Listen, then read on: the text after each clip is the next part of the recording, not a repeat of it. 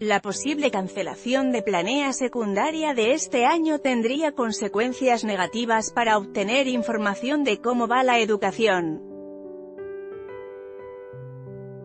Esto debido a que una vez que los alumnos salgan de educación básica se desconocerá el nivel de aprendizaje que obtuvieron en los últimos años, dijo Víctor Manuel Alonso, académico de la Universidad La Salle.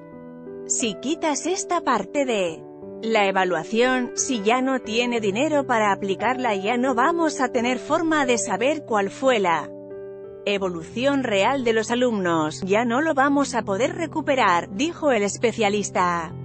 INE busca a la SED. Para salvar a Planea la semana pasada, el Instituto Nacional para la Evaluación de la Educación informó que debido al recorte presupuestal que sufrió para el ejercicio fiscal 2019, no aplicará Planea, la evaluación para conocer los conocimientos de los alumnos de educación obligatoria que este año le tocaba a los estudiantes de tercero de secundaria.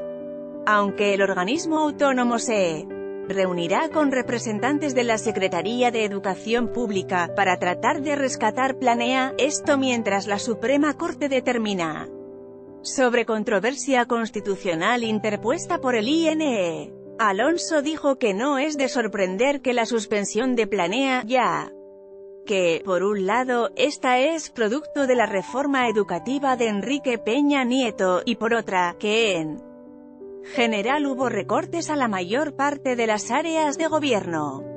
Evidentemente esta reducción de presupuesto va a impactar la política que venía implementando un organismo autónomo, pero que abiertamente el gobierno actual no ve con buenos ojos, dijo.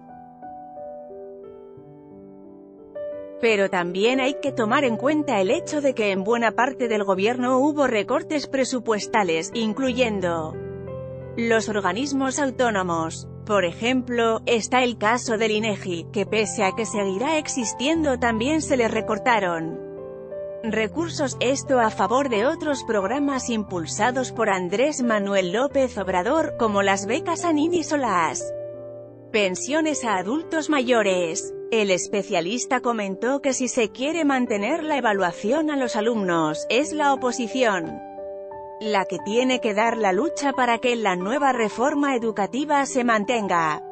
La oposición y los contrapesos que existen en el país y que sin lugar a dudas seguirán existiendo, tal vez no como antes pero...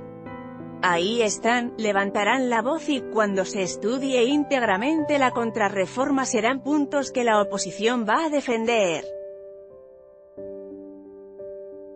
En un tema de negociación se incluirá porque es un tema que no hace daño ni que contravenga lo que dice el actual gobierno, finalizó.